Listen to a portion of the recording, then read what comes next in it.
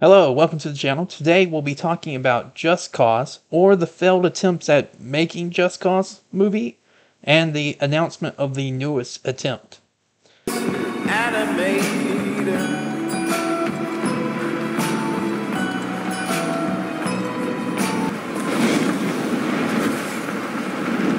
So to cover the most recent announcement of the Just Cause movie before we elaborate and talk about the messy history of this project, Universal, through the Hollywood Reporter, announced that they had found a producer, directors, and a production companies, but they didn't announce a writer.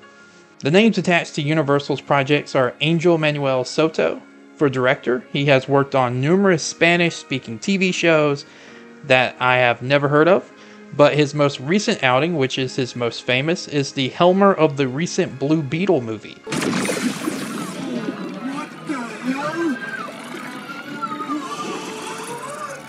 Now, not to speak badly of him, Blue Beetle bombed at the box office, and a lot of that has to deal with the fact that no one wanted to see a movie that didn't or doesn't tie into James Gunn's future DC universe.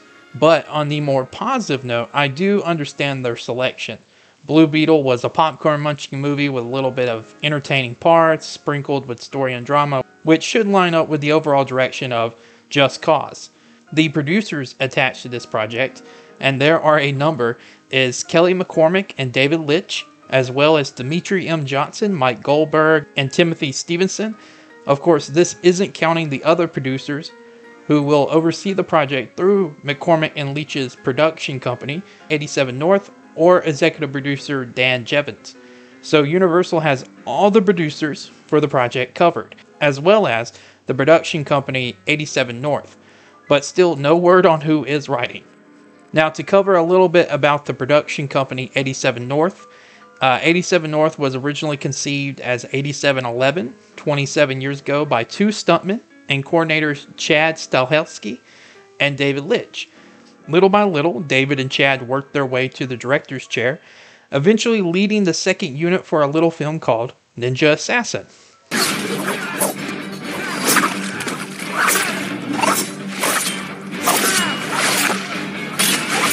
And if you do know this film, when was the last time you heard of it or watched it? But from there, the two partners began to work on different movies. Leitch would have a string of movies spanning The Mechanic, Conan Barbarian, Hansel and Gretel, Anchorman 2, The Wolverine, Teenage Mutant Ninja Turtles, Jurassic World, Captain America Civil War, yada yada yada. But before those last three movies came out, Leitch got hitched and found a new production company called 87 North with his wife and partner Kelly McCormick, and their first project was with longtime friend and collaborator Stahelski, and his project was John Wick.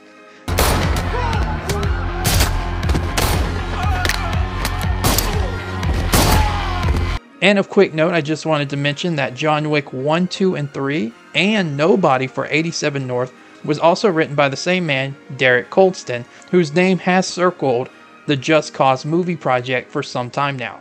But the massive success of John Wick and the final three second director credits paved the way for Leitch to finally sit in the director's chair, and more recently, the producers. He's either directed or produced a number of hit films from Atomic Blonde, his first directorial film, to Bullet Train and The Fall Guy, and all along the way, Kelly McCormick has been his partner in crime. And together, their production company, which was founded just 10 years ago in 2014, has produced 13 action packed movies and so far has only suffered one box office mishap The Fall Guy. So now that we have all of that out of the way, we don't know when Just Cause will come out because after the failure of Blue Beetle, Soto is in very high demand. He's prepping to film a movie for Amazon's MGM called Wrecking Crew with Jason Momoa and Dave Bautista. One of those names will pop up a little down the line when we're talking about the history of Just Cause. And after that, he's also in talks to write and possibly direct a Transformers spinoff with Marco Ramirez. So he has a very busy schedule, which I suppose goes with Universal's reason for not attaching a writer to this project unless this will be Soto's second or third movie writer's credits, depending on Transformers.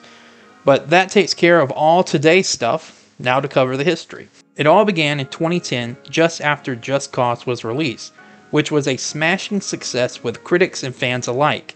Adrian Askari, the man who held the rights to Just Cause, and the more famously as the man who held or still holds the film TV rights for Hitman, which led to the creation of Hitman 2009 and Hitman Agent 47, was looking for a writer for his upcoming Just Cause movie.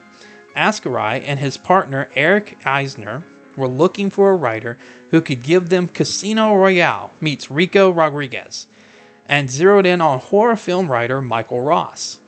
Uh, quick note this is not the serial killer. Michael Ross' most famous work includes the 2006 Turistas, a movie with a whopping 18% Rotten Tomato score. Askari, upon hiring this clearly bad writer, who has gone on to write four more movies, each below a 5 on IMDb, said, quote, We wanted our Casino Royale, if you will, and Michael is the perfect writer to execute that. He starts from reality and grounds the story in a plausible universe. Once you have done that, the audience will believe all the extraordinary things Rico the Scorpion does in the story. Once again, this is a man who has wrote a very bad horror movie. And within one year time, in December of 2011, Ross was let go and replaced by comic book writer Brian Edward Hill. At the time in Hill's career, he had just written a screenplay, which he sold to Universal and it was never turned into a movie called Gone. And he has just co wrote a Witchblade series for Top Cow and co created Image's Seven Days from Hell. Hill's adaptation, called Just Cause Scorpion Rising, was never produced, and he left the project sometime around 2013 2014. Hill would go on to work for TV shows Ash vs. Evil Dead, Titans, and work for Marvel and DC on numerous projects, including 2018's Batman The Outsiders, Marvel 2019's Killmonger series, and 2024's Ultimate Black Panther. But sometime around 2017, Askari, after the success of his second Hitman movie, Agent 47, and with hopes of creating a Square Enix universe where Rico Rodriguez liberates micronations, Agent 47 covertly takes out targets, and even Tomb Raider is rummaging around the same world looking for artifacts, Askari comes as close as he'll ever will be to making a Just Cause film. Askari and his production company signs a first look deal with a historic, or at least a long lasting, German film production and distributor company, Constantin Films. Constantin and Askari agree to produce with Universal distributing their Just Cause film. On this project, they had the likes of Jason Momoa as Rico Rodriguez and Brad Peyton set to direct the film. And after the sales, but lower fan reception of Just Cause 4, the drive to make Just Cause the movie was stronger now than ever before. This was on the high of Momoa's career, who had just finished wrapping up his horrible Justice League with Joss Whedon and Frontier series with Brad Peyton, but the Momoa craze was growing stronger. Brad Peyton at this time also finished up filming his upcoming film Rampage, which would go on to break the video game movie curse. But after waiting two years for the project to materialize, Jason Momoa and Brad Peyton who never received scripts, left the project over busy schedules. Momoa would go on to star in movies like Dune, Fast X, Sweet Girl, and The Last Mutant, as well as his reason for leaving the Just Cause project, his TV series See. While Peyton, on the other hand, who only takes on one project at a time, left Just Cause to make Netflix's flop Daybreak and Momoa's film Sweet Girl. If you wish to see his most recent project, it's also on Netflix, and it's Jennifer Lopez's Atlas. Oh, okay then. Wait, how did it know I wanted coffee? I'm sorry, but my pronouns are she and her, not it. But in 2019, though, the train seemed like it was back on the track after it was announced that they had finally found a new writer, Derek Kolstad, something that Momoa and Peyton never had while waiting their two years. And one year later, Constantine and Askari replaced Peyton with Michael Dowse. Now, Dowse doesn't really have experience with high action and explosion movies, being more famous for his Fubar film and TV series, but at that time he had finished a buddy cop action movie, Stuber. Is this an Uber? Get angry! Stop that! Why are you laughing? Own it! Get to the least! Ah! You shot me! you got shot in the leg. It proved that Dowse, who was known for his comedic abilities, had what it takes to make a comic action movie, or at least a mid one. And with that, it seemed like there was a change in the air, but not really. For some reason, the film could not get off the ground. Kolstad had just finished the script by May of 2021 and had believed that acting calls would begin sometime in June of 2021. and Dallas believed so too, who seemed very excited about getting ready to film, but nothing came of it. Of course, there is very little online to find out why, so I'm just going to have to assume here. In 2019, a disease was spread from China to the world that halted everyday life COVID 19. Within the span of the disease outbreak, the world closed itself down for two to three years, depending on where you lived. And during that time, numerous TV shows, movies had their projects stalled and even canceled.